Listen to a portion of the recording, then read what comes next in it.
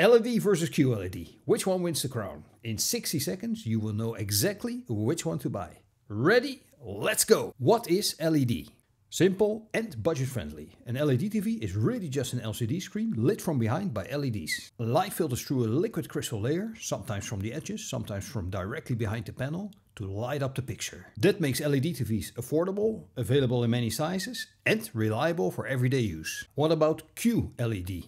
It's like an LED TV, but supercharged. An extra layer of quantum dots sits between the backlight and the screen. Those quantum dots transform the plain white LED light into richer, more vibrant colors. Bright reds, deep blues, saturated greens. The result? QLED TVs often deliver brighter images, deeper colors and a more vivid contrast. Which should you pick? If you want a cost-effective, no-frills screen for everyday shows, LED gets the job done. But if you want pop-off colors, striking brightness and a more premium look that brings movies, games or footage to life, go QLED.